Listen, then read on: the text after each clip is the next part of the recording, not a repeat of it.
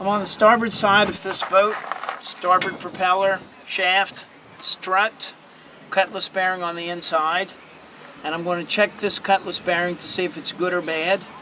Mind you, it's going to be a very heavy propeller, very heavy shaft running about 12 feet up into the boat.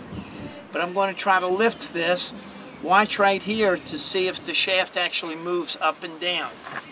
Very heavy, so I'm going to have a little trouble lifting it, but just watch right here, see what happens.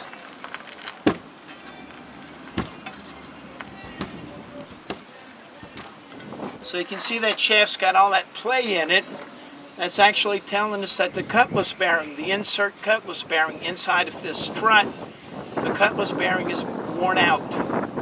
So they'll have to remove the set screws on the inside of this strut, put a hydraulic press on here, and press the cutlass out.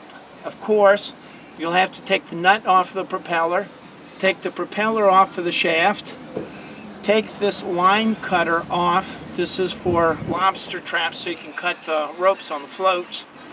Then they'll press the cutlass out. They'll take a new cutlass and press the new cutlass back in and reset it with two set screws over here.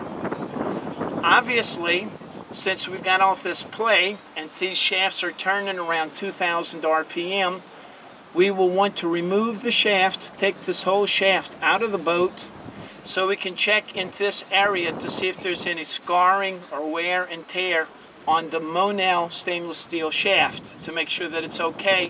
When we do put the new cutlass in, we want to make sure that the shaft is healthy so that we've got a new cutlass on a healthy shaft and we don't have any wear and tear for the future.